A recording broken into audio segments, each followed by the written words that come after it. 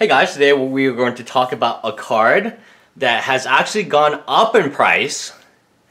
And I'm looking at the graph right now. At some point on January 8th, it used to be about $12 low, or actually 1240 median.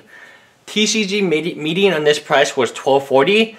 This was the card that spiked. This card has over pretty much doubled. Right now the median is $23.50 and even up until pre-release, it was around $15.30 on January 13th, according to TCG Players Mids.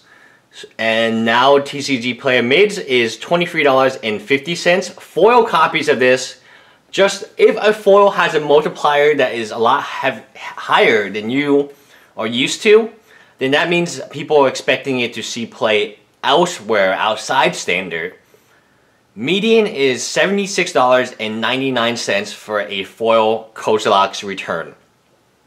This is by far the outbreak card of the set. Uh, it's not very fancy. It's a instant speed sweeper. And typically you wouldn't be like, oh, this card's gonna be great, this card's gonna be mythic. Doesn't really feel that mythic to me, but hey, it is a very good card. It already has a home in Modern. And very few cards you can say that without any, without like having played the card. You just know, hey, Tron is a slow deck. This deals with slow decks. And then you can play Eldrazi and board wipe because that's one of the ways it can beat you if their board is so much better than yours.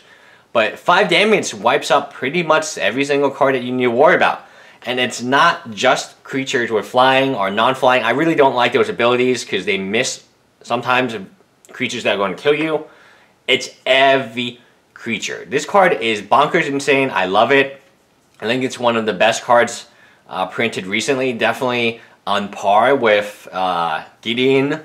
Probably better for modern playability than Gideon. And the foil multiplier shows that.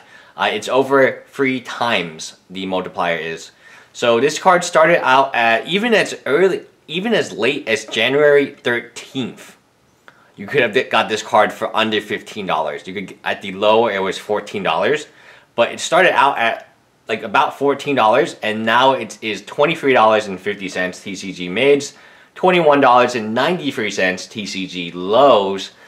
Obviously this is a breakout card of the set. I don't see its price tanking too much. I think it's always going to be about a $20 card in my opinion. Uh, again, that depends on how much of this stuff is open, really. I feel like it will be far less than Battle for Zendikar. Love the card. think it's actually worth... Um, if you're a Tron player, you got to get a set of these like right now. Because I don't see... Uh, modern Season is coming. And I don't see the, a significant dip in this. All cards pretty much dip after their initial hype. Because there's more...